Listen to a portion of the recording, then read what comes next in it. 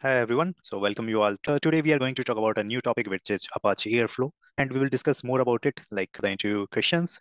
So if you talk about Apache Airflow then it's a ETL tool.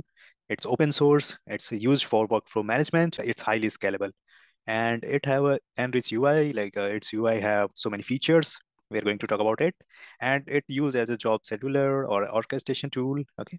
So if interviewer will ask you like, uh, can you tell why you are using Apache Airflow or what is Apache Airflow? How are you using inside uh, your uh, architecture? Then you can say, yeah, Apache Airflow is open source ETL tool and uh, used for workflow management. It's a workflow orchestration tool. It resolves some issues like uh, maintaining the audit trail of every completed task. It's scalable in nature. It create and maintain a relationship between tasks with very easiness and uh, it comes with a richness UI which can track and monitor the execution of workflow and uh, many things it can do. Some of the features it provide like it help in scheduling the jobs and uh, it will tell the historical status also related with jobs. It also help in like supporting execution through web UI, CRUD operation on DAG. Now, how can you use Apache Airflow as a solution? If this question will arise, then you can say, yeah, it will help us uh, in retrying in case if there is a failure, it help in monitoring, it have some dependencies like data dependencies or execution dependencies. In that also it assist like in upstreaming the data or deploying all the changes, it help in that. It is scalable, like it centralized the scheduler and uh, it's deployment is easier. You can deploy Apache Airflow, like you can use it on AWS, Azure, any cloud service or on local locally also you can use it. And then processing historical data is possible with Apache Airflow easily.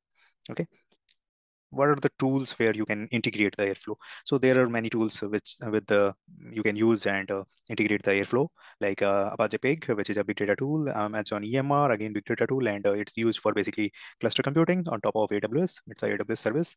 And kubernetes it's orchestration tool again and uh, container management will be possible by using the kubernetes. There also you can use the airflow.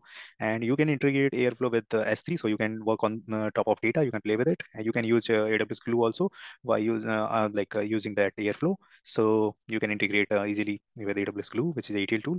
Then you have big data tool uh, Hadoop, uh, MapReduce. That also you can integrate with the Airflow and you can schedule the jobs. You can play with the data of Hadoop and uh, Azure Data Factory or Azure Data Lake. It's a very like uh, helpful with uh, working on Airflow. So um, like Microsoft, uh, Amazon also provide um, managed Airflow solutions on top of uh, AWS and Azure. Okay. Next question is tell some like uh, commands of airflow then you can say like okay i'm using some commands like uh, airflow run airflow show DAG, Airflow task, Airflow web server, uh, Airflow backfill. So basically, these are the commands which is used for like uh, Apache Airflow, and it have some significant meaning uh, that you should learn. So Airflow run is used for running a task. Airflow show DAG is used for like showcasing the task and their dependencies. It will display the DAGs. Airflow task is used for like debugging task again. It will give you all details about the task uh, uh, working. And web server is used for like uh, initiating the GUI. And uh, backfill is used for running a specific part of DAG. Okay, so you can provide the DAG ID and it will run a specific part of that DAG and uh, you can use that command. Okay. Now let's move to the next question. So that is, uh, what is the Airflow DAG and uh, how to create it? So basically, Airflow DAG is a very like a famous tool nowadays, and uh, many companies are using it. And uh, if you specifically say like a DAG full form is like directed cyclic graph, it, it's a collection of all the tasks uh, which you want to run organized in a way like that will reflect uh, the dependencies and relationships of the task together. So DAG is defined as a Python script uh, which uh, represent the DAG's structure, task, and their dependencies as a code.